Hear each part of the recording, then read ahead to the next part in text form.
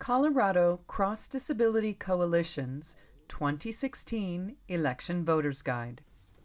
Colorado based, disability specific ballot information. Amendment 72 Increase cigarette and tobacco taxes. Amendment 72 Increasing cigarette and tobacco taxes. The details.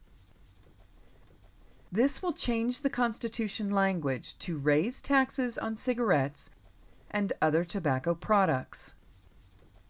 The money will be spent on many programs such as medical research, tobacco use prevention, Veterans Health Services, Youth Behavioral Health Services, and other health programs.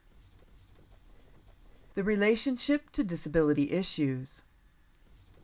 Often people with mental illness smoke because there is something in cigarettes that helps ease the symptoms of some mental illnesses.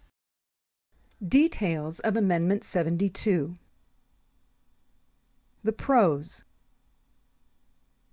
Being able to give more money to veterans care, tobacco prevention, and youth behavioral care are good things. The hope is that more money for research would help find out what is in cigarettes that helps people with serious mental illness. The cons.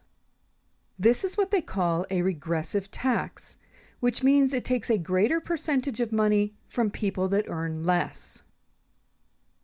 People with disabilities earn the lowest amount of money of any group. People that are for this amendment also say increasing the tax on tobacco would make people smoke less or even quit.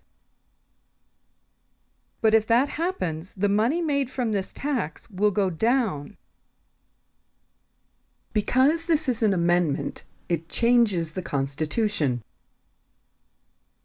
This means that spending is set for certain programs and can't be moved around even if it is needed elsewhere. Finally, CCDC is neutral on how you vote on Amendment 72. You make the choice.